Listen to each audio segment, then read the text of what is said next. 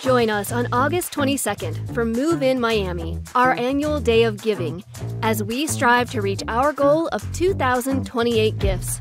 When you make your gift to Move In Miami this year, you will not only honor the incoming class, you will also help the future unfold for countless students across Miami's campuses.